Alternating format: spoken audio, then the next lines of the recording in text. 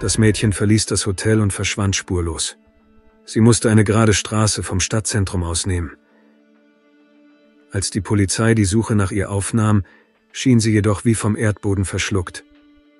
Viele beunruhigende Entdeckungen, unerwartete Wendungen und äußerst bizarre Ereignisse erwarteten sie. Mehrere Jahre lang blieb der Fall einer der verwirrendsten Fälle des Verschwindens, doch schließlich kam die unerwartete Wahrheit ans Licht.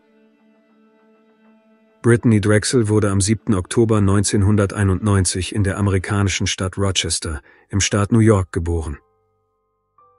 Die Eltern des Mädchens trennten sich, als sie noch sehr klein war. Bald darauf heiratete ihre Mutter einen anderen Mann namens Chad, der Britney adoptierte. Das Paar bekam später eine weitere Tochter, Marisa. Aufgrund des Militärdienstes von Chad mussten sie häufig umziehen. Nachdem er den Dienst verlassen hatte, ließ sich die Familie in einem Vorort von Rochester namens Chili's nieder. Schon in früher Kindheit wurde bei Brittany eine seltene Erkrankung des rechten Auges diagnostiziert. Das Mädchen musste eine Reihe komplizierter Operationen durchführen lassen. Den Ärzten gelang es jedoch nicht, das Problem zu beheben. Infolgedessen hörte das Auge auf zu sehen, und später begann Britney Kontaktlinsen zu tragen, um diesen Defekt zu verbergen. Trotzdem lebte das Mädchen ein erfülltes und glückliches Leben. Sie hatte viele Freunde. Sie liebte es, Zeit im Freien zu verbringen und Sport zu treiben. Während ihrer Schulzeit verliebte sie sich in den Fußball und trat der örtlichen Frauenmannschaft bei. Britney war von diesem Sport so angetan, dass sie in kurzer Zeit hervorragende Ergebnisse erzielte. Auch für ihre Zukunft hatte das Mädchen große Pläne. Sie entschied sich, Krankenschwester, Kosmetikerin oder Model zu werden. Als Britney 16 Jahre alt war, ließen sich ihre Eltern scheiden. Dieses Ereignis machte ihr schwer zu schaffen, ebenso wie ihrer jüngeren Schwester. Dennoch versuchte das Mädchen eine positive Einstellung zu bewahren. Darüber hinaus kommunizierte sie weiterhin mit ihrem Vater und sah ihn regelmäßig. Ein Jahr später, im April 2009, wollte Brittany mit ihren Freundinnen die Frühlingsferien in dem Badeort Myrtle Beach in South Carolina verbringen. Ihre Mutter stand der Idee jedoch sehr ablehnend gegenüber. Das Mädchen war erst 17 und die Stadt war mehr als 1000 Kilometer von ihrem Zuhause entfernt. Alle ihre Freunde waren ebenfalls Teenager, und keiner der Erwachsenen wollte sie auf dieser Reise begleiten. Außerdem hatte die Mutter sofort ein ungutes Gefühl bei dieser Reise. Sie hatte das Gefühl, dass ihre Tochter in großer Gefahr schweben würde. Schließlich verbot die Frau ihr dorthin zu fahren, was Brittany sehr verärgerte. Sie und ihre Mutter stritten sich und sprachen mehrere Tage lang praktisch nicht miteinander. Am 22. April erzählte das Mädchen ihr, dass es zu einem Freund gehen wollte, der ein Haus am Ufer eines örtlichen Sees besaß. Brittany wollte dort ein paar Tage verbringen, um sich auszuruhen und ihre Gedanken zu ordnen. Ihre Mutter hatte nichts dagegen, da der See in der Nähe ihrer Stadt lag, und sie ließ sie gehen. Tatsächlich beschloss Britney, mit ihren Freundinnen nach Myrtle Beach zu fahren, ohne es ihrer Mutter zu sagen. Sie war ehrlich gesagt der Meinung, dass die Mutter die möglichen Risiken überschätzte und dass ihr nichts Schlimmes passieren würde. Sie traf sich noch am selben Tag mit ihren Freunden und sie fuhren mit dem Auto dorthin. Die Fahrt dauerte 13 Stunden. Danach checkte die Gruppe im Zwei-Sterne-Hotel Bar Harbor ein, das direkt am Meer im Zentrum der Stadt liegt. Das Mädchen war von der Reise begeistert. Sie verbrachte Zeit am Strand, spazierte durch die Stadt und genoss ihren Urlaub im Allgemeinen. Nach ihrer Ankunft rief Britney ihre Mutter an, um ihr zu sagen, dass es ihr gut ging. Sie verheimlichte weiterhin, dass sie in einen anderen Staat gereist war und erzählte ihr, dass sie und ihre Freunde spazieren gehen und dann zu Hause einen Film ansehen würden. Am 25. April rief sie ihre Mutter erneut an und sagte, dass sie am nächsten Tag gegen 8 Uhr abends nach Hause zurückkehren wolle. Das Mädchen beschloss, zu Fuß zu dem Hotel zu gehen, in dem ihr alter Freund aus Rochter wohnte. Es lag etwa zweieinhalb Kilometer von ihr entfernt auf einer geraden Straße an der ersten Uferlinie. Fast unmittelbar nachdem das Mädchen dort angekommen war, schrieb ihr eine ihrer Freundinnen eine SMS. Zuvor hatte Brittany sie gebeten, ihr ein paar Hosen zu leihen. An diesem Abend verlangte die Freundin jedoch, dass sie sie zurückgab, da sie sie selbst tragen wollte. Brittany war unglücklich darüber, dass sie die ganze Strecke noch einmal laufen musste, da sie die Hose bereits trug. Trotzdem verließ sie das Hotel des Freundes und machte sich auf den Weg zu ihrem Hotel. Unterwegs schrieb das Mädchen ihrem Freund John eine SMS. Er hatte geplant, mit ihnen diesen Ausflug zu machen, aber er konnte sich nicht von seinem Teilzeitjob freistellen lassen. Brittany erzählte ihm, dass sie zurück zum Hotel laufen müsse und beschwerte sich über ihre Freundin. Irgendwann hörte das Mädchen plötzlich auf zu antworten. Das kam John seltsam vor. Er schickte ihr ein paar Nachrichten und fragte sich, was los sei, aber sie antwortete nicht. Daraufhin versuchte der Mann, sie anzurufen. Doch Brittany ging nicht ans Telefon. Also rief der Junge ihre Freunde an. Sie sagten, dass sie immer noch nicht gekommen sei und auch auf ihre Nachrichten nicht reagierte. John schrieb dem Mädchen noch ein paar SMS. Er dachte darüber nach, dass sie ihn aus irgendeinem Grund einfach ignorierte. Er sagte, dass er alles ihrer Mutter erzählen würde, wenn sie ihm nicht antwortet. Aber auch danach meldete sich Britney nicht, und John wurde klar, dass ihr etwas Schlimmes zugestoßen sein könnte. Also beschloss er, ihre Mutter anzurufen und ihr zu sagen, was los war. Die Frau war schockiert über die Tatsache, dass ihre Tochter ohne Erlaubnis dorthin gegangen war. Sie rief sofort die örtliche Polizei an und meldete das Vermissen. Später reiste sie nach Myrtle Beach. Auch ihr Ex-Mann folgte ihr, um bei der Suche nach dem Mädchen zu helfen. Die Polizeibeamten von Myrtle Beach begannen ihre Suche erst am nächsten Morgen. Nachdem sie mit Britneys Freunden gesprochen hatten, erfuhren sie, dass das Mädchen ihr Hotelzimmer gegen 8 Uhr abends verlassen hatte. Um 8.30 Uhr wurde sie in dem Hotel, in dem sie wohnte, mit einer Kamera aufgenommen. Bereits um 8.48 Uhr wurde Britney erneut von den Kameras eingefangen. Diesmal verließ sie das Hotel ihrer Freundin. Die Polizei versuchte weitere Kameras auf dem Weg zu ihrem Hotel zu finden. Es gelang ihnen jedoch nicht – die Ermittler sprachen auch mit dem Freund, den das Mädchen besucht hatte. Der junge Mann gab an, dass er und seine Kumpel sich zu dieser Zeit ein Baseballspiel ansahen und Britney sich nicht zu ihnen gesellte. Gegen Ende des Spiels, nur 15 Minuten später, sagte sie, sie müsse zurück in ihr Hotel gehen, weil ihre Freundin verlangte, dass sie ihre Hose zurückgibt.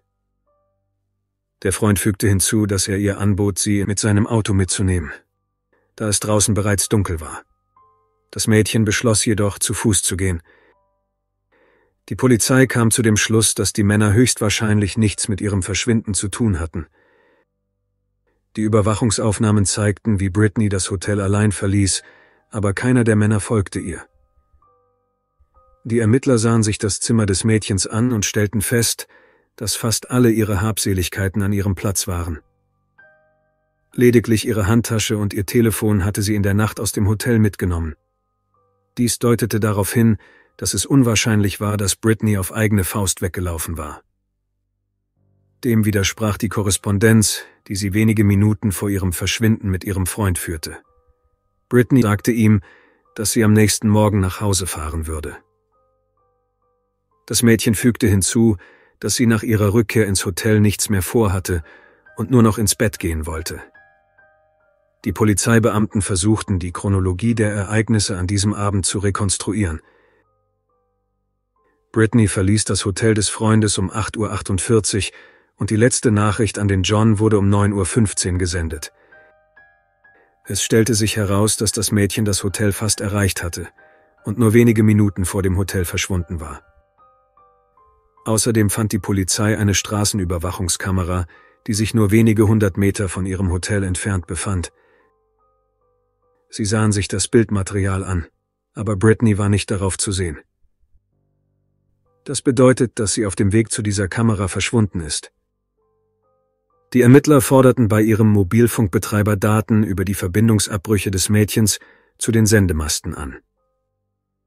Zu ihrer Überraschung fanden sie heraus, dass das Telefon bis in die frühen Morgenstunden eingeschaltet war, und das letzte Mal, dass es eingeschaltet war, war etwa 90 Kilometer von Myrtle Beach entfernt direkt am Highway 17.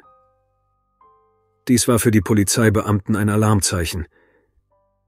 Die Gegend, in der Britneys Handy zuletzt gesehen wurde, war von Sümpfen bedeckt, in denen sich viele Alligatoren tummelten. Die Ermittler befürchteten, dass das Mädchen entführt und getötet worden sein könnte, bevor ihre Leiche in einem dieser Sümpfe versenkt wurde. Die Polizei leitete eine Suchaktion in dem Gebiet ein und setzte Hubschrauber, Quads und Hunde ein. Es gelang ihnen jedoch nicht, eine Spur des vermissten Mädchens zu finden. Elf Tage später wurde die Suche abgebrochen, da den Ermittlern klar wurde, dass das Mädchen, falls es sich in dem Gebiet aufhielt, nach all der Zeit keine Überlebenschance haben würde.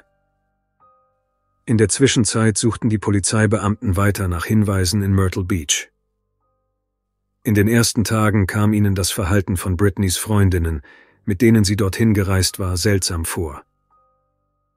Die Mädchen beantworteten kaum Fragen und zogen später in ein anderes Hotel. Auch die Mutter der Vermissten versuchte mit den beiden zu sprechen, doch sie reagierten einfach nicht auf ihre Anrufe, das kam ihr alles sehr verdächtig vor.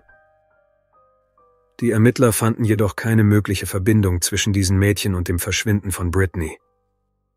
Sie waren alle zum Zeitpunkt ihres Verschwindens im Hotel, schrieben ihr SMS und versuchten sie anzurufen. Die Polizei kam zu dem Schluss, dass es unwahrscheinlich ist, dass sie etwas mit dem Fall zu tun haben und zog sie nicht mehr als Verdächtige in Betracht. Darüber hinaus sprachen die Ermittler mit einem anderen Freund von Britney, den sie am Tag vor ihrem Verschwinden kennengelernt hatte. Der Mann kam ihnen zunächst merkwürdig vor. Es gab jedoch keine Hinweise darauf, dass er etwas damit zu tun hatte. Außerdem kam er selbst auf die Polizeiwache, sobald er hörte, dass das Mädchen vermisst wurde. Folglich wurde er auch nicht als Verdächtiger betrachtet. In den folgenden Wochen wurde in den Medien intensiv über den Fall berichtet. Die Polizei veröffentlichte Überwachungsaufnahmen und hoffte auf die Hilfe der Öffentlichkeit. Und die Eltern von Brittany traten regelmäßig im Fernsehen auf, unter anderem in großen Fernsehsendungen. Später wurde der Fall in einer prominenten Sendung über das Verschwinden von Personen vorgestellt. All dies führte zwar zu einer Vielzahl von Hinweisen, doch keiner davon brachte die Ermittler dem Mädchen näher. Irgendwann beschlossen sie, alle in Myrtle Beach lebenden Männer mit Verurteilungen wegen Gewaltverbrechen zu überprüfen. Dieser Prozess dauerte eine ganze Weile, doch hier wartete eine Sackgasse auf sie. Das Hauptproblem bestand darin, dass die Polizei absolut keine Beweise hatte. Daher war es fast unmöglich, den möglichen Täter zu finden. Im Dezember desselben Jahres, acht Monate nach dem Verschwinden der Britney, erhielten die Ermittler unerwartet eine neue Spur. Ein Touristenpaar, das in einem Zelt in der Nähe von Georgetown übernachtete, fand die Brille einer Frau und übergab sie der Polizei. Die Polizei fand heraus, dass die Brille der Brittany gehörte. Es wurden jedoch keine Spuren fremder DNA an der Brille gefunden. Seitdem sind ein paar Monate vergangen. Britneys Mutter zog näher nach Myrtle Beach, um die Suche zu verfolgen. Sie äußerte auch die Theorie, dass ihre Tochter von einer kriminellen Bande entführt und dann in ein anderes Land gebracht worden sein könnte. Die Ermittler hielten dies jedoch für unwahrscheinlich. Im Juni des folgenden Jahres erhielt der Fall erneut eine Chance, gelöst zu werden.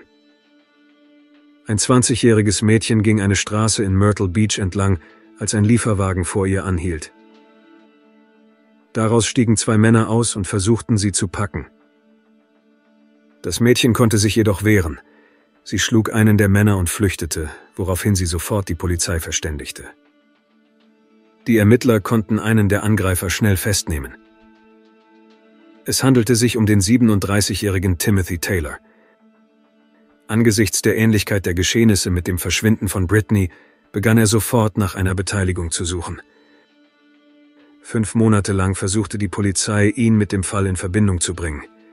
Schließlich kamen sie jedoch zu dem Schluss, dass er höchstwahrscheinlich nicht beteiligt war. In den folgenden Jahren ging die Polizei einigen weiteren Hinweisen nach. Sie durchsuchten die Wohnung eines möglichen Verdächtigen und durchkämmten auch das Gebiet der Insel in der Nähe des Flusses aufgrund eines Hinweises eines Fischers. Doch all dies führte nicht zu einem Ergebnis. 2014 fand die Polizei ein Skelett in der Nähe der Stelle, an der das Handy von Britney zuletzt aufgetaucht war. Sie vermuteten bereits, dass die Überreste zu dem Mädchen gehörten. Diese Version wurde jedoch nicht bestätigt. Das Skelett war männlich. 2016 erklärte das FBI, dass es nicht damit rechne, dass Britney noch am Leben sei. Ihrer Meinung nach wurde sie entführt und an den Ort gebracht, an dem ihr Telefonsignal aufgezeichnet wurde, und dann getötet. Das FBI setzte außerdem eine Belohnung von 25.000 Dollar für Hinweise aus, die zur Lösung des Falles beitragen. Einige Monate später nahm der Fall eine sehr unerwartete Wendung. Erinnern Sie sich an den Mann namens Timothy Taylor, der 2010 versucht hatte, ein 20-jähriges Mädchen zu entführen? Zur Überraschung der Ermittler war ihr neuer Verdächtiger sein Sohn, der 26-jährige Dashon. Der FBI-Informant, der in einem Gefängnis in South Carolina einsitzt, erzählte eine interessante Geschichte, die ihm widerfuhr, bevor er mit den Behörden zusammenarbeitete. Ihm zufolge kam er am 27. April 2009 zu einer Hütte in den Wäldern, wo sich seine Bekannten, die in verschiedene illegale Aktivitäten verwickelt waren, versammelten. Der Mann sollte Timothy Taylor Geld aushändigen. In dem Haus erwartet jedoch ein unheimlicher Anblick. In einem der Zimmer sah er, wie Dashen in Begleitung von elf anderen Personen einem Mädchen gegenüber Gewalt ausübte. Vor seinen Augen gelang es dem Mädchen, sich zu befreien und zur Tür zu rennen. Dashen zog jedoch seine Waffe und drängte sie zurück. Nachdem der Informant in einen anderen Raum gegangen war, hörte er zwei Schüsse. Später sah er, wie ein eingewickelter Körper aus dem Haus getragen wurde. Als der Mann später nach Hause kam, sah er einen Nachrichtenbericht über das Verschwinden von Britney und erkannte, dass es sich um dasselbe Mädchen handelte. Zur Überraschung der Ermittler wurde diese Schilderung durch die Aussage eines anderen Informanten gestützt. Er enthüllte, dass Dashen Britney tatsächlich entführt und in das Haus gebracht hatte, wo er sie missbrauchte. Dem Informanten zufolge plante der Täter, sie an einen seiner Freunde zu verkaufen, doch als der Fall publik wurde, hatte Dashon Angst, erwischt zu werden und tötete sie. Beide Schilderungen stimmten mit der Version der Ermittler überein. Den Informanten zufolge wurde das Mädchen zwei Tage nach der Entführung getötet und das Haus von Dashons Vater lag genau in der Gegend, in der Britneys Telefon zuletzt aufgezeichnet wurde. Die Polizei hatte jedoch ein Problem. Es fehlten jegliche Beweise. Die Aussagen ihrer Informanten würden für eine Verurteilung nicht ausreichen.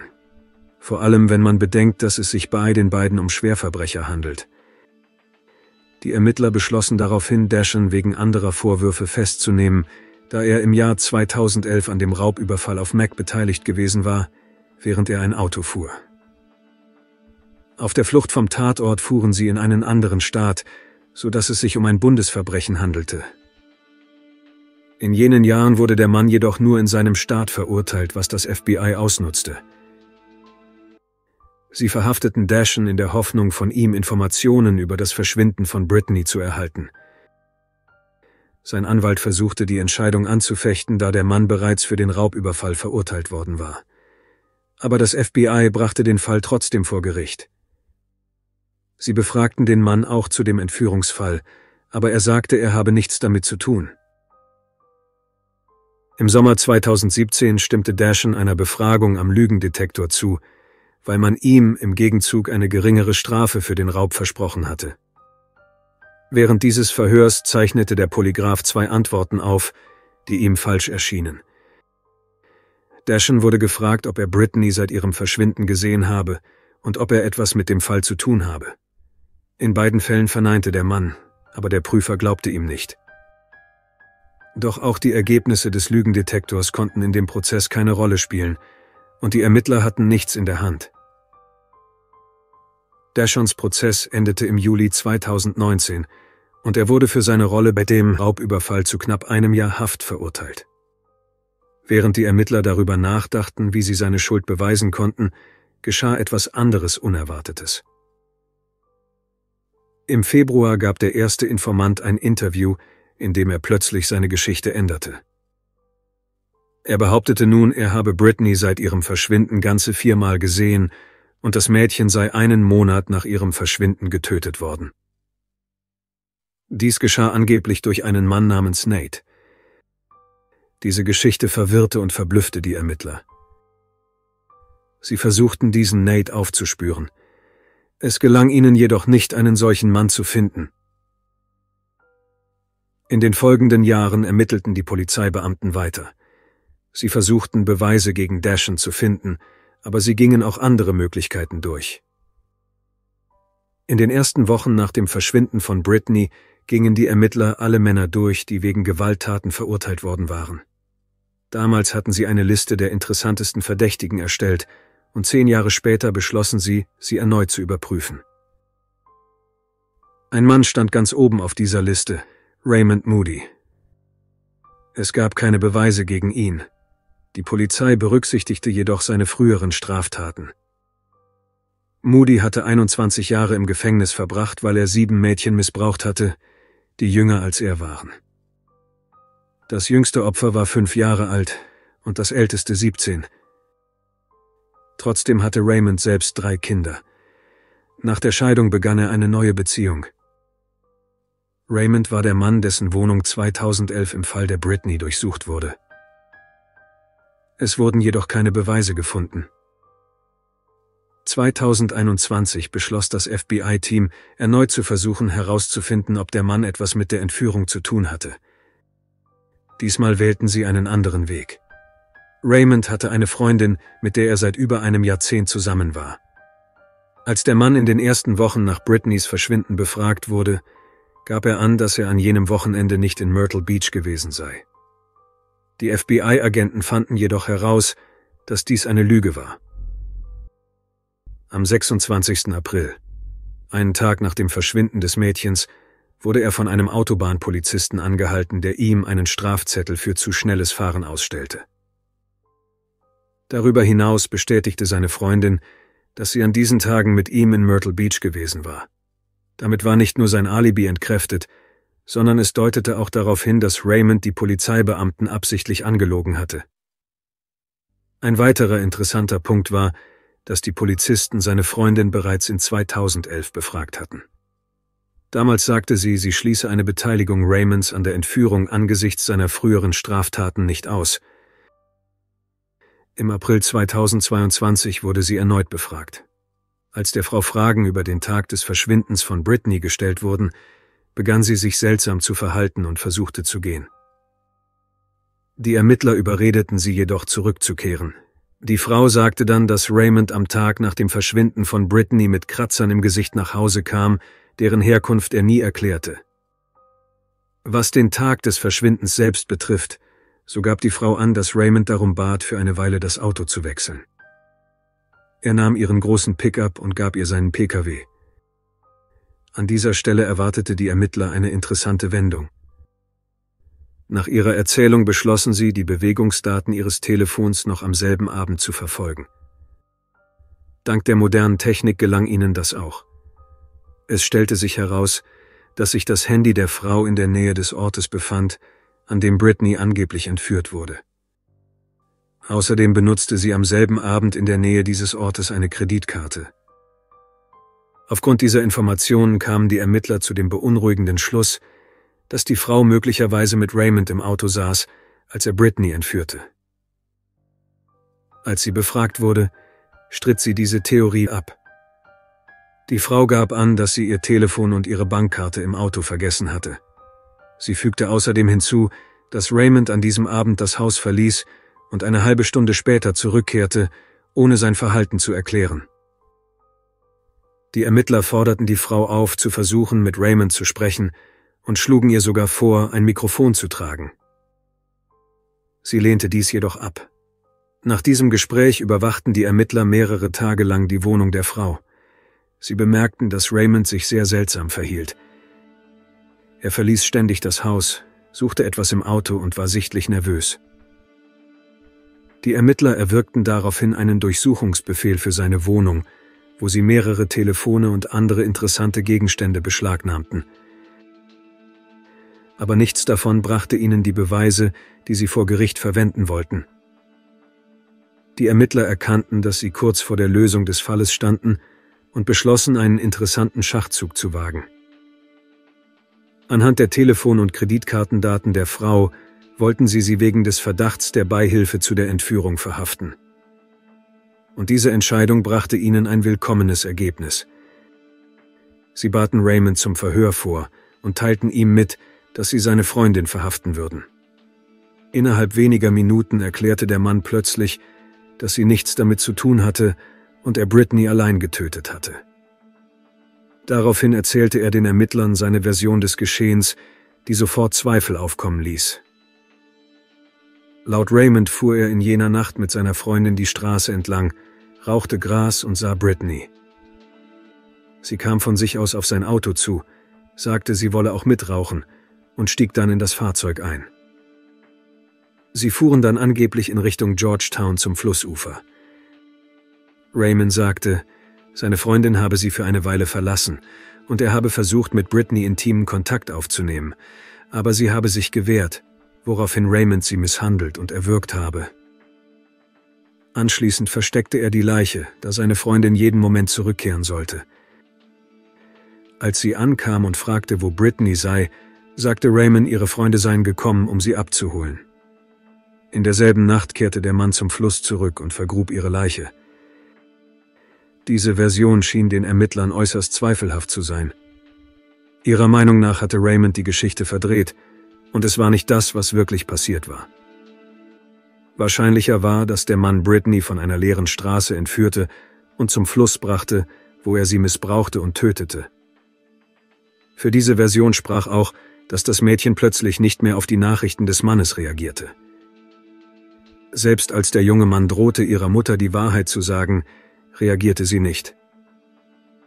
Obwohl sie laut Raymond zu diesem Zeitpunkt noch am Leben war und mit ihm im Auto unterwegs war. Doch selbst mit diesem Geständnis konnten die Ermittler erwarten, dass er für seine Taten bestraft werden würde. Raymond führte sie zu der Stelle, an der er die Leiche vergraben hatte, und die Polizei fand dort tatsächlich Überreste. Anhand von DNA-Analysen und Zahnunterlagen stellten Experten fest, dass sie zu Brittany gehörten. Der Mann wurde wegen Entführung und Mordes angeklagt, woraufhin die Vorbereitungen für den Prozess begannen.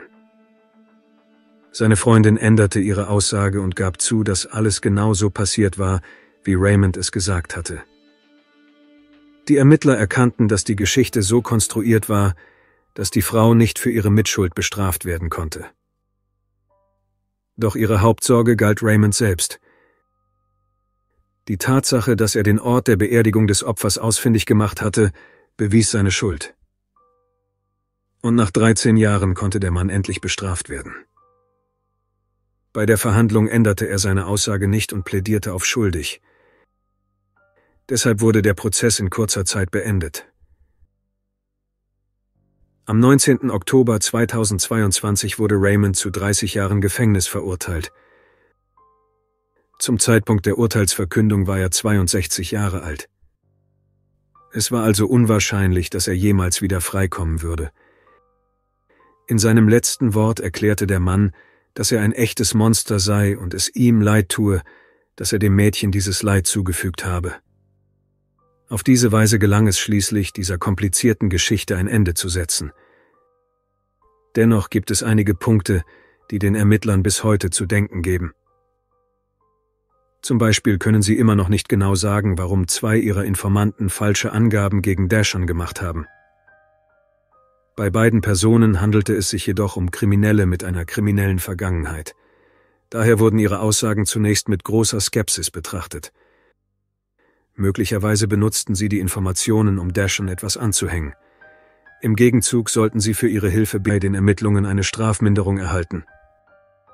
Es gibt noch eine weitere Sache, der die Ermittler nachgehen. Sie vermuten, dass Raymond in das Verschwinden einer 28-jährigen Frau im Jahr 2005 verwickelt war. Er wohnte damals in ihrer Nähe und die Ermittler glauben, dass er sie entführt haben könnte. Raymond streitet dies jedoch ab und es gibt keine Beweise gegen ihn. Es ist also sehr wahrscheinlich, dass er nicht zusätzlich angeklagt werden wird.